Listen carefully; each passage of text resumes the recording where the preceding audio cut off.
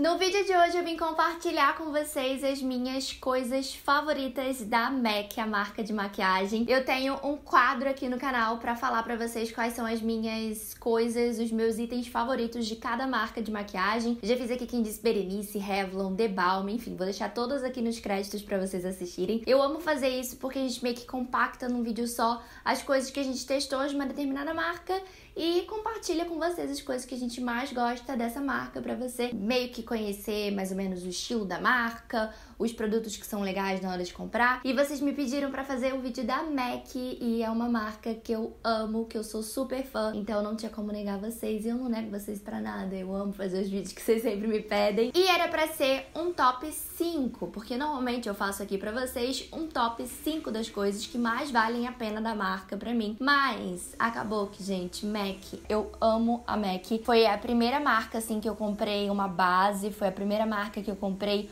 um batom mais caro. Sei lá, eu acho que foi meio que a MAC que começou a dar um passo assim para eu gostar de me maquiar, sabe? Porque eu adorava ir na MAC comprar as coisas, as pessoas passarem as coisas em mim. Eu espero muito que vocês gostem desse vídeo, que vocês continuem gostando desse quadro. Então não esquece de deixar o seu like para mim, que é super importante. E também deixe uma sugestão de marca aqui embaixo nos comentários para eu poder voltar aqui e fazer. E também, sei lá, eu não sei o que eu, eu não esqueci que eu já pedi para vocês fazerem, mas se inscreva, curta, compartilha.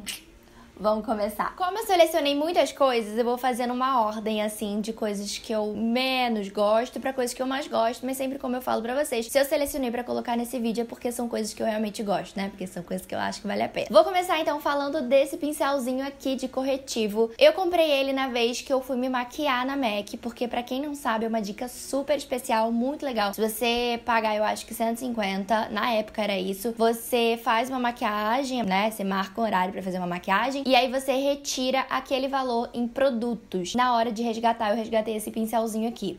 E aí, quando o maquiador passou, eu já gostava muito de maquiagem, eu fiquei tipo, ah, preciso ter isso. E aí eu fiquei depois um pouco tipo, cara, eu gastei os meus 150 nesse pincelzinho, tipo, podia ter pego mais coisa mas eu nunca mais me arrependi porque ele é maravilhoso. Eu amo aplicar corretivo cremoso com ele, mas eu amo muito, muito, muito, muito mais aplicar corretivo líquido. Você consegue desenhar o olho aqui embaixo, puxar aqui pro lado de uma maneira que fica bonita, não fica aquela coisa meio que cagada, sabe? Que aqui entrou um pouco mais o dedo e aqui não. Eu, infelizmente, não tenho a numeração dele, mas se eu descobrir, eu vou deixar aqui embaixo para vocês. Fica a dica não só para de repente o pincel da MAC, mas se você achar esse pincel em outro lugar, ou você também que tá procurando alguma marca para investir em pincel, são pincéis realmente caros, mas que a qualidade é muito boa. Eu já tenho ele há uns 3 anos e tá durando bastante, uso ele todos os dias. Próximo item é essa paletinha aqui de sombras. Essa paletinha que apareceu no meu vídeo de paletas favoritas, que tem aqui no canal, também vou deixar aqui em cima para vocês conseguirem assistir nos créditos. E ela é uma paletinha que ela é do tamanho da minha mão. Eu amo essas paletinhas assim da MAC e amo também essa facilidade que a gente tem de montar nossas próprias paletas, sabe? Você pode na MAC comprar uma paletinha desse tamanho, comprar uma paleta maior, enfim, você pode criar a sua paleta paleta, isso é muito legal.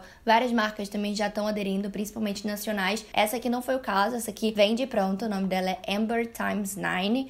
Ela vende assim já nesses formatos, mas é muito legal porque a MAC tem várias dessas paletinhas pequenininhas e eu amo também. Como eu disse pra vocês no início do vídeo, a MAC é uma marca que eu amo, que é muito importante para mim, porque marca muito meu início na maquiagem, as coisas que eu mais gostava. Esse blush aqui, ele é o Gingerly. Ele foi o primeiro blush que eu tive na minha vida. Até hoje, eu tô com ele hoje. Eu amo usar esse blush. Quando eu comecei a me maquiar, eu não gostava de blush rosinha. Até hoje eu não gosto tanto, porque eu tenho a sensação que eu acabei de suar porque eu fico muito rosa quando eu suo, quando eu faço algum exercício físico, sabe? Então, eu descobri que eu gostava de blushes pêssegos. Esse aqui, por exemplo, ele é um pêssego, mas ele tem uma coisa assim muito leve avermelhada, mas ele é mais pêssego. E isso que eu amo nesse blush, eu acho ele super bonito. Os blushes da MAC são muito bons, são muito pigmentados. Próximo item, batom batom. Eu sou a louca do batom. E eu amo os batons da MAC. Eles custam na faixa de preço, eu acho que de 90 reais, que eu acho que já é um preço caro para batom. Mas a qualidade é muito, muito, muito boa. E a textura é muito boa. É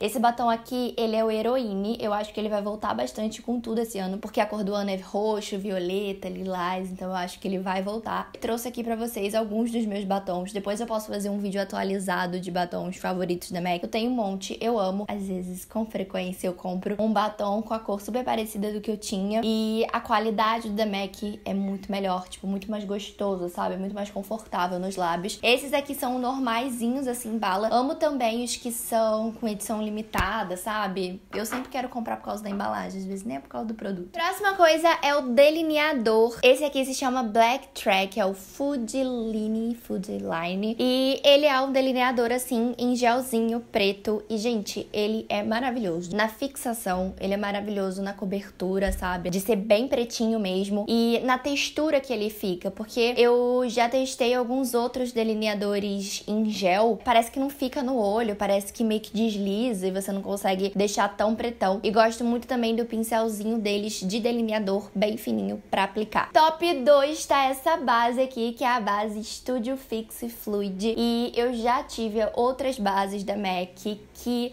eu gosto bastante, gosto da cobertura, mas nada se compara a essa aqui. E todas as vezes que acaba uma base dessa, eu vou lá e compro outra. Eu já perdi as contas de quantas bases eu tive dessa. Ela é uma base para quem gosta de alta cobertura, para quem gosta de uma cobertura mais pesada.